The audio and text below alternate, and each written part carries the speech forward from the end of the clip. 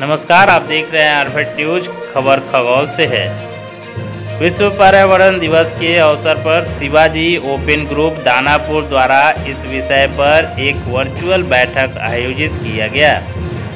इसके बाद राज्य प्रशिक्षण केंद्र दानापुर के प्रांगण में तथा जिला आयुक्त महोदय के आवासीय परिसर में वृक्षारोपण कार्य किया गया। वहीं जो बच्चे कोरोना के कारण भाग नहीं ले सके, वो अपने घरों में ही रहकर वृक्षारोपण किए। इस अवसर पर DC guide Archana Chaudhary, DC scout Surjeet Singh, जिला आयुक्त स्काउट, जिला आयुक्त guide Danapur, group leader Manoj Kumar H leader Vijay Kumar, Deepak Kumar, Shankar Kumar, Sunil Kumar, Robin, Ashish, Shamsher, Sonu, Vikas एवं चितरंजन उपस्थित रहे।